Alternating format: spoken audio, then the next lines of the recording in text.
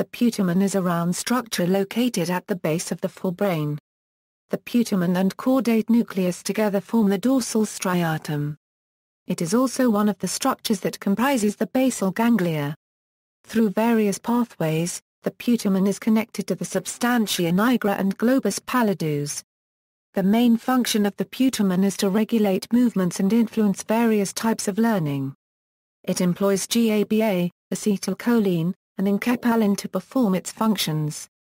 The putamen also plays a role in degenerative neurological disorders, such as Parkinson's disease.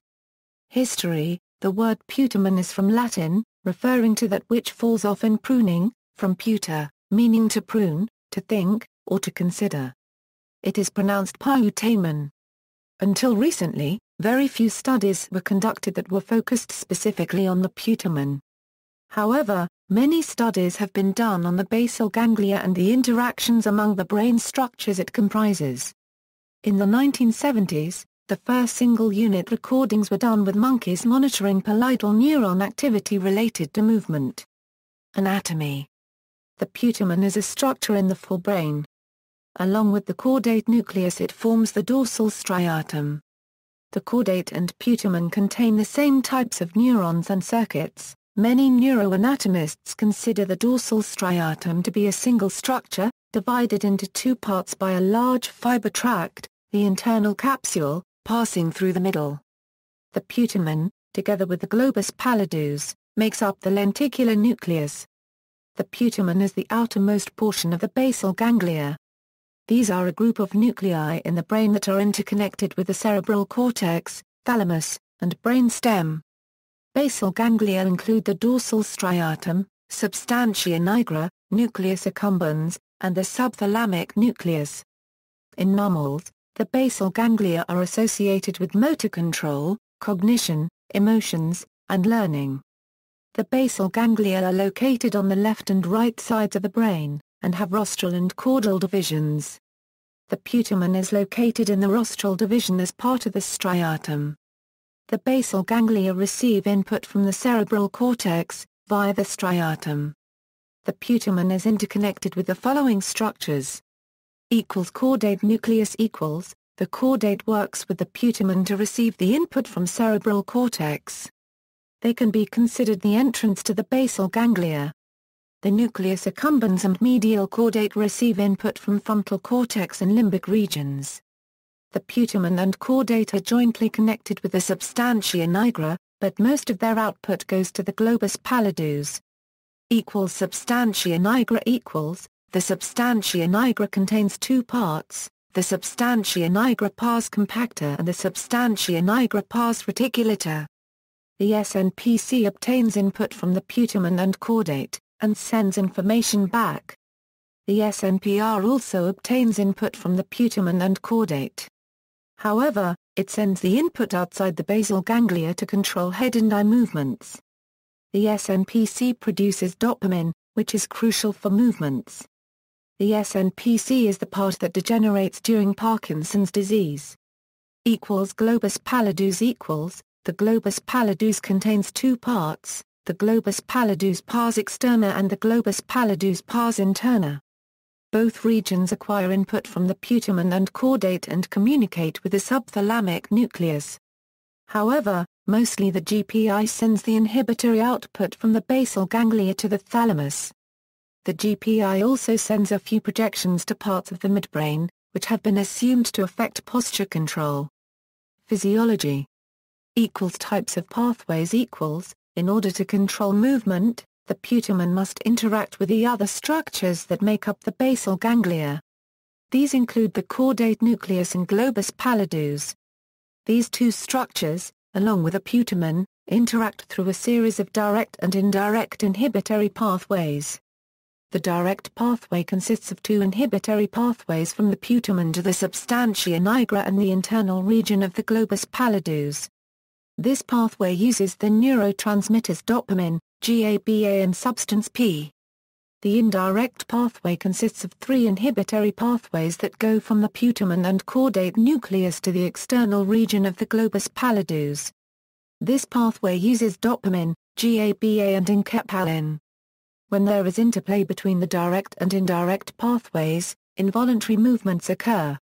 Equals dopamine equals, one of the main neurotransmitters that is regulated by the putamen is dopamine. When a cell body of a neuron fires an action potential, dopamine is released from the presynaptic terminal. Since projections from the putamen and caudate nuclei modulate the dendrites of the substantia nigra, the dopamine influences the substantia nigra, which affects motor planning. This same mechanism is involved in drug addiction. In order to control the amount of dopamine in the synaptic cleft, and the amount of dopamine binding to postsynaptic terminals, presynaptic dopaminergic neurons function to reuptake the excess dopamine. Equals other neurotransmitters equals, the putamen also plays a role in modulation of other neurotransmitters. It releases GABA, enkephalin, substance P, and acetylcholine. It receives serotonin and glutamate. The majority of these neurotransmitters play a role in motor control. Function, motor skills, while the putamen has many functions, it has been concluded that it has no specific specialization. However, since the putamen is interconnected with so many other structures, it works in conjunction with them to control many types of motor skills. These include controlling motor learning, motor performance and tasks, motor preparation, specifying amplitudes of movement, and movement sequences. Some neurologists hypothesize that the putamen also plays a role in the selection of movement and the automatic performance of previously learned movements. In one study it was found that the putamen controls limb movement. The goal of this study was to determine whether particular cell activity in the putamen of primates was related to the direction of limb movement or to the underlying pattern of muscular activity.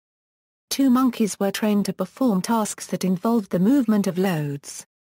The tasks were created so that movement could be distinguished from muscle activity.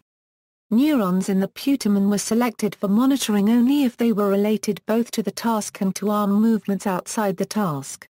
It was shown that 50% of the neurons that were monitored were related to the direction of movement, independent of the load.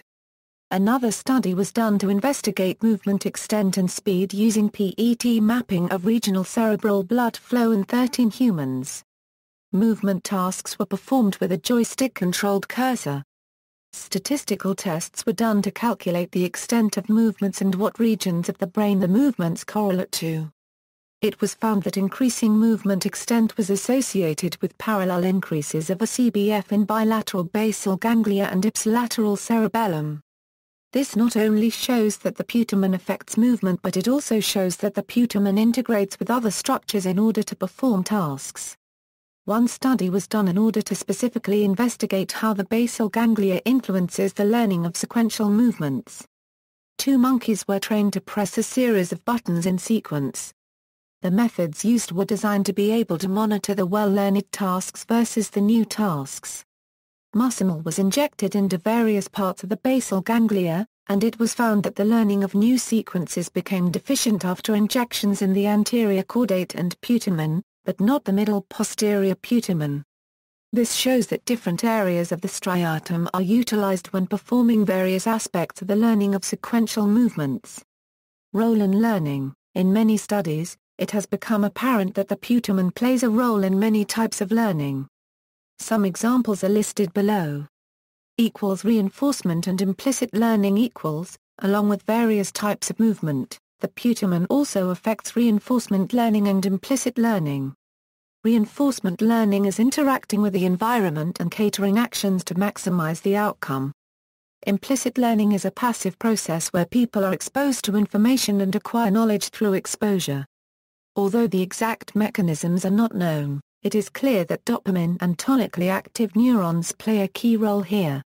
Tonically active neurons are cholinergic interneurons that fire during the entire duration of the stimulus and fire at about 0.5-3 impulses per second. Phasic neurons are the opposite and only fire an action potential when movement occurs. Equals category learning equals, one particular study used patients with focal lesions on the basal ganglia due to stroke in order to study category learning. The advantage to using these types of patients is that dopaminergic projections to the frontal cortex are more likely to be intact. Also, In these patients, it is easier to relate specific brain structures to function because the lesion only occurs in a specific place. The goal of this study was to determine whether or not these lesions affect rule-based and information integration task learning. Rule-based tasks are learned via hypothesis testing dependent on working memory. Information integration tasks are ones wherein the accuracy is maximized when information from two sources are integrated at a pre-decisional stage, which follows a procedural-based system. Seven participants with basal ganglia lesions were used in the experiment, along with nine control participants. It is important to note that the caudate was not affected. The participants were tested for each type of learning during separate sessions, so the information processes would not interfere with each other. During each session, participants sat in front of a computer screen and various lines were displayed. These lines were created by using a randomization technique where random samples were taken from one of four categories. For rule-based testing, these samples were used to construct lines of various length and orientation that fell into these four separate categories. After the stimulus was displayed, the subjects were asked to press one of four buttons to indicate which category the line fell into. The same process was repeated for information integration tasks, and the same stimuli were used, except that the category boundaries were rotated 45 a degree. This rotation causes the subject to integrate the quantitative information about the line before determining what category it is in. It was found that subjects in the experimental group were impaired while performing rule-based tasks, but not information integration ones. After statistical testing, it was also hypothesized that the brain began using information integration techniques to solve the rule-based learning tasks. Since rule-based tasks use the hypothesis testing system of the brain, it can be concluded that the hypothesis testing system of the brain was damaged weakened. It is known that the caudate and working memories are part of this system. Therefore, it was confirmed that the putamen is involved category learning, competition between the systems, feedback processing in rule-based tasks, and is involved in the processing of prefrontal regions. Now it is known that not only the basal ganglia and caudate affect category learning. Role and hate circuit, recent, tentative studies have suggested that the putamen may play a role in the so-called hate circuit of the brain.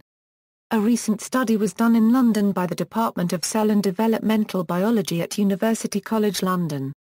An fMRI was done on patients while they viewed a picture of people they hated and people who were neutral. During the experiment, a hate score was recorded for each picture. The activity in subcortical areas of the brain implied that the hate circuit involves the putamen and the insula. It has been theorized that the putamen plays a role in the perception of contempt and disgust and may be part of the motor system that's mobilized to take action. It was also found that the amount of activity in the hate circuit correlates with the amount of hate a person declares, which could have legal implications concerning malicious crimes. Role in transgender individuals The putamen was found to have significantly larger amounts of gray matter in male to female transgender individuals compared to the putamen of a typical cisgender male. This possibly suggests that a fundamental difference in brain composition may exist between trans women and cis men. Pathology equals Parkinson's disease equals, after discovering the function of the putamen, it has become apparent to neurologists that the putamen and basal ganglia play an important role in Parkinson's disease and other diseases that involve the degeneration of neurons. Parkinson's disease is the slow and steady loss of dopaminergic neurons in substantia nigra pars compacta. In Parkinson's disease the putamen plays a key role because its inputs and outputs are interconnected to the substantia nigra and the globus pallidus.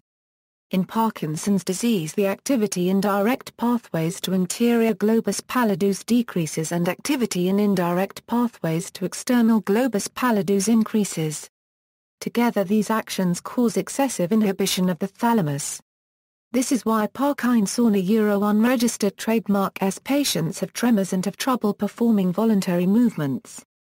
It has also been noted that Parkinson Euro unregistered trademark S patients have a difficult time with motor planning. They must think about everything they do and cannot perform instinctive tasks without focusing on what they are doing. equals other diseases and disorders equals, the following diseases and disorders are linked with the putamen, cognitive decline in Alzheimer's disease, Huntington's disease, Wilson's disease, dementia with Lewy bodies, corticobasal degeneration, Tourette syndrome, schizophrenia, depression, attention deficit hyperactivity disorder, chorea, obsessive-compulsive disorder, other anxiety disorders. In other animals, the putamen in humans is similar in structure and function to other animals. Therefore, many studies on the putamen have been done on animals, as well as humans. Additional images. See also, lentiform nucleus. References.